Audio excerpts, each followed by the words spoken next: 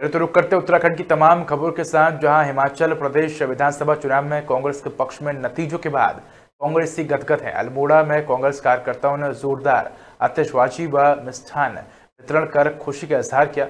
इस दौरान कांग्रेस ने इसे जनता की जीत करार दिया। कांग्रेस जिलाध्यक्ष पीताम्बर पांडे ने बीजेपी पर निशाना साधते हुए कहा कि दिल्ली का एमसीडी चुनाव, उपचुनाव और अब हिमाचल प्रदेश के विधानसभा चुनाव ने सिद्ध कर दिया है कि बीजेपी के दिन पूरे हो गए हैं। जनता अब भाजपा की करनी व कथनी को जान चुकी है। उन्होंने कहा कि राहुल गांधी देश भर में भारत जोड़ो यात्रा निकाल रहे हैं, जिसका शुभ संकेत हिमाचल से देखने को मिला है। अल्मोड़ा से नसीम अहमद की रिपोर्ट।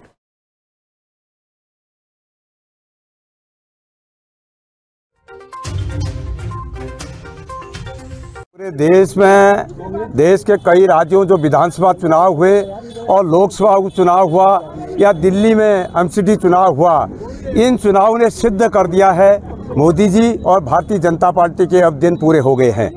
अब जो है, ये खाता कांग्रेस और कांग्रेस के जो सहयोगी दल है, भारतीय जनता पार्टी के विरोधी दल हैं, उनने अपना खाता खोलना शुरू कर दिया है। शुभ संकेत है और राहुल गांधी जी ने जो भारत यात्रा पूरे देश में शुरू की है, उसकी शुरुआत आज हिमाचल से एक करके दिखा दी है। आज पूरा देश अब कांग्रेस की तरफ़ और भारतीय जनता पार्टी के विरोधी दलों की तरफ़ जाने लग गया है।